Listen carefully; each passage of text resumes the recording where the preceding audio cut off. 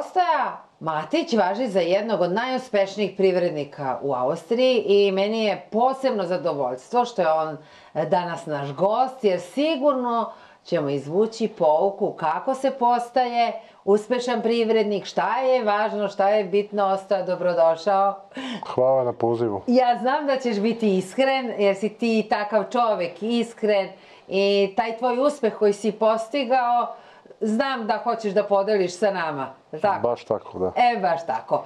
A, ono što je važno kod tebe, je da odmah kažemo na početku gledalcima, ja mislim da je tebi to okej, okay, da ja kažem da si ti zapravo počeo kao i svi mi na početku ovde u Austriji. Ako se ne veram od jedne manje radionice, je li tako? Pa počeo sam kao učenik. Ajde, evo kreni priču. Baš... Nosio sam šut po zgradama, sa, moji roditelji su imali zgradu za održavanje, čistio snijeg, svaki petak zgradu čistio i tako dalje. I kad je bio zanat u pitanju, ti se odlučiš za...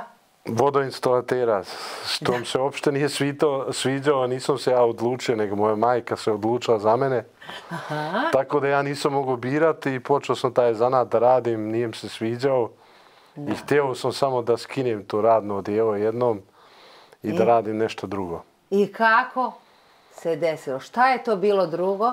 Šta je to drugo? Auto me uvijek interesuje i htio sam nešto sa autima da radim. I onda sam u tu branšu došao i što sam zahvalan što sam došao i sviđam se i baš dobro. Da, evo sad da kažemo da, pres, da samo sam htjela da napomenem a, gledalcima da zapravo svaki uspeh ima svoj početak i da da nije uopšte jednostavno uspeh ne pada, je li tako? Ne pada sa neba. Pa ne sija svaki dan sunce i od svakog neuspjeha se nešto nauči i onda to pomaže dalje u životu. A, to može da bude jedno od pouka. Ali evo da kažemo, znači, Ostoja, ti si uh, vlasnik kompanije Lucky Car, već dobro poznate, simpatične ove žute reklame koje vidimo ovaj, po gradu. O, to, radiš karoseriju, šta sve, ajde malo mi opiši. Pa mi smo i autokozmetičar i e, doktor za unutrašnje bolest auta. Aha, dobro. I koliko filijala u Austriji imaš? U Austriji, ja mislim, imamo 44 sad, a sad baš kupujemo jednu veliku kompaniju, zove se ATU. U tom procesu smo, oni imaju sam 25 još. Filijala. I to će da se, da kažemo, pridruži ili kako? To će se pridružiti, isto će dobiti naš brand Lucky Car i mm -hmm. ja mislim od 2. 1. februara da će biti naše. Dobro, a, a, a Midas? Midas smo preuzeli, to je već stara priča. Sve će biti žuto u Austriji. Biće čitova Austrija žuta. e, sad smo došli do onog dela kada ti trebaš da odlučiš da li ćeš da budeš samo radnik u toj, da kažem, automobilskoj branši ili ćeš i nešto više. Šta je bilo presudno da se odlučiš? Šta je tu važno? Pa šta je važno? Svaki dan ustajati, rado ustajati, radovat se na ono što radiš i uspjeh dođe sam od sebe. I ne radi para, a ustajati, jer pare su u suštini nebitne. Čovjek kad voli ono što radi, pare doveze same. To svi govore. Ali treba od, odrediti i, i to neko aktuelno. Ti, tvoj, tvoja oblast je bila aktuelna, jer to nije postojalo, pa si ti, uh, da kažemo, počeo taj deo oko autokozmetike i to. Ili si jednostavno svojim brendom... Pa jedno iza drugog išao i onda se stvorio taj brend. I od toga je sad ova kompanija što jest. Uh uh, mi imamo dosta franchise partnera što uh -huh. sam uh, vode radionce. On su sam svoje šefovi, od mene dobio licenciju i sam Aha. vode te radionce. I da li to možemo da najavimo u emisiji? Možda neko želi da se priključi Lucky Caru? Kao šta je potrebno da... Šta je potrebno? Trud i rad. Mora da bude majstor u toj oblasti? Ne mora biti majstor, dobro je kad jest, ali moji uspješniji partner nemaju opšte sa tim zanatom, ništa, sasvim iz drugih branči dolaze i, mm -hmm. i dosta su uspješni sa tim. Da li imate veliki tim? I ko u tom biznisu je presudan, osim naravno gazde koji donosi neke važne odluke?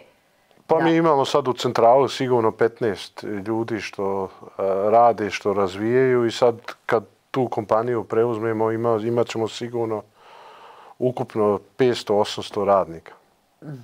Znači tim je, Baš je ozbiljna priča to onda kasnije. da. I, ti, i, I vi ste mi ostaje ozbiljni jako, vidim kako vi to odmareno, sve. Šta je još presudno? Znači tim dobar, odluka dobra, Lokacija dobra, volja, volja. Jer postoji rizik u biznisu? Pa postoji riziko neki, a u, suštini ne postoji. Naša ideja je isprobana, funkcioniše. Imam e, dosta uspješnih partnera što su baš uspješni, što se mogu kontaktirati i tako dalje. Dobro. A marketing? Pa marketing sam kopirao od Red Bulla. Vidio sam kod njih koliko, e, koliko je to vrijedno i mi baš puno para investiramo u marketing. I to je jedna vrlo jaka tačka kod nas za naš uspjeh. Dobro, i tako savjetujete i drugima. Tako i drugim f- firmama što hoće da budu uspje- uspješni moraju u marketing baš pare investirati, to je ono što pravi uspjeh svake kompanije. E, Znate, e, za onu o, o, rečenicu kaže možete da imate i zlato, ali ako ljudi ne znaju da delite zlato na ulici, ali ako ljudi Baš ne tako, da. znaju da. delite, odnosno ne radite marketing, onda Baš od tako. toga. Niko neće uzeti te, to zlato. Rade dobre stvari i pričaj o njima, i ako ne pričaš o tim dobrim stvarima, niko neće znati o njima.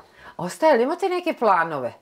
Jer ima neke sad ovo, zaista ste dosta postigli, pa i dosta ste i mladi, koliko godina imate ako nije 52 godine imam. Eto, relativno mlad, da kažemo, biznismen. Ili imate neke planove, nešto, nešto novo, drugo, ili ćete, jer ste postigli, na primjer, ono što ste želeli? Vidim sliku iza tebe, kan, Kan, jeste, mislim tamo da živim. dobro, Uživam, more volim. Dobro. Mislim, ne mora to biti kan. More. More, Neko more more, da se malo, da, Da. kažemo, odmorite. Baš tako, da. Dobro, to ćete u neko dogledno vreme, u, u penziji ili sada već? I sad isto tu živim. Uživam u Hrvatskoj trenutno, imam dolje brod, pravim apartmane. Aha, znači malo ste, da kažemo, izašli iz branše da... Ma Nisam izašao iz branče, to je jednostavno iz hobija počeo da malo raste i sa srcem to radim i mislim da će biti isto neka vrsta uspjeha, ako ne, uživat ja u tome. Što je isto, i ti isto. Evo, poziva me Ostoja da uživa. Ostaja, hvala što ste izdvojili vreme, jer kažu biznismeni nemaju mnogo slobodnog vremena, ali hvala što ste izdvojili vreme za našu emisiju. Evo ja još jednom gledalcima da poručim da na vašem sajtu mogu da pogledaju ili žele da vam se pridruže u biznisu kao partneri ili da jednostavno poprave svoj auto na pravom su mestu. Lucky car. Tako? Baš tako, da. Hvala što ste bili i želim vam još više sreće u biznisu Hvala Vesna. i životu. Hvala, hvala.